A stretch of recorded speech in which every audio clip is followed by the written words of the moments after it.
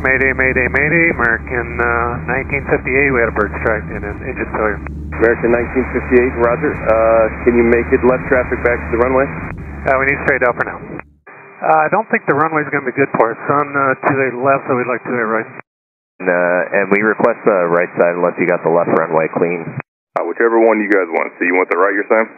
We can do the left as long as it's inspected and clear.